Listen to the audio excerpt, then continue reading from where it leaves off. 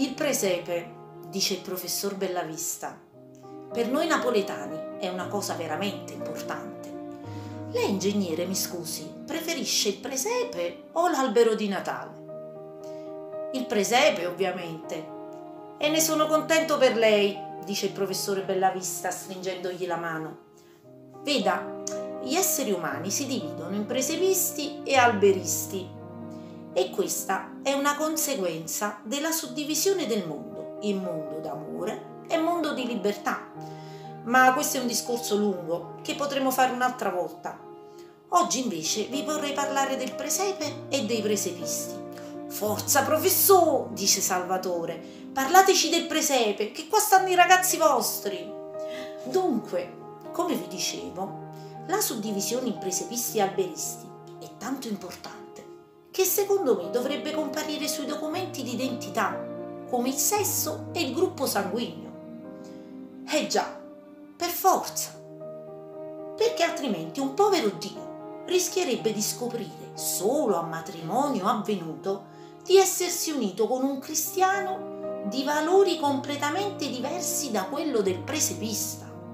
No, noi qua in questa casa, dice Saverio, siamo tutti presepisti, è vero professore?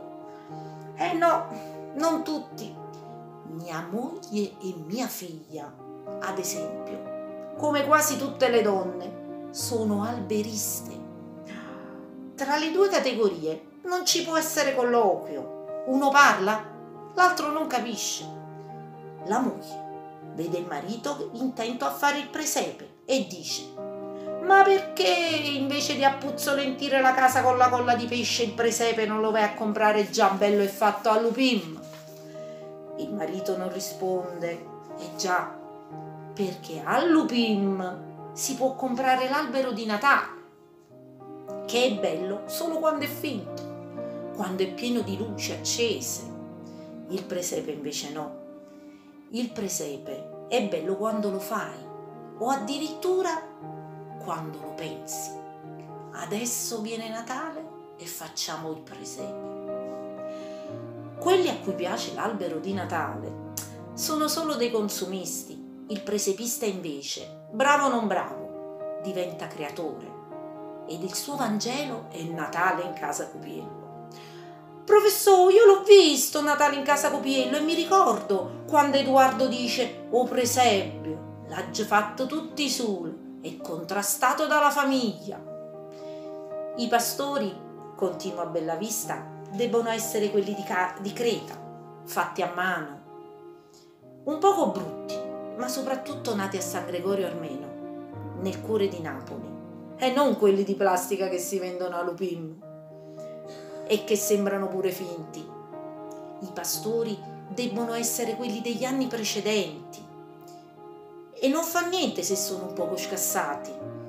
L'importante è che il capofamiglia li conosca uno per uno, col loro nome, e che per ognuno sappia raccontare un bello fattariello.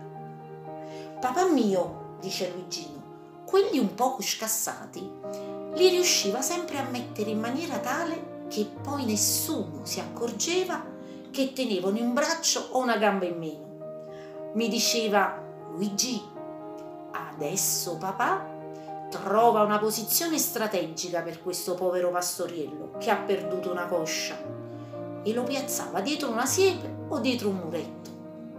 Papà mio mi ricordo che le casette le faceva con le scatole delle medicine e poi dentro ci metteva una lucina. E quando durante l'anno io mi dovevo prendere una medicina, per esempio uno sciroppo che non mi piaceva, allora lui prendeva lo scatolino e mi diceva Luigi, questo scatolo ce lo conserviamo per quando viene Natale, che così ne facciamo una bella casetta per il presepe. Tu però, belle papà, devi finire prima la medicina che ci sta dentro, se no papà la casarella come la fa? E poi, quando veniva mezzanotte, continua Salvatore, ci mettevamo tutti in processione il più piccolo della famiglia avanti con il bambino Gesù e tutti quanti dietro con una candela accesa fra le mani. E giravamo per tutta la casa cantando Tu scendi dalle stelle. Questo è il mio augurio per questo Natale. Un Natale di sorrisi e di speranza per tutti.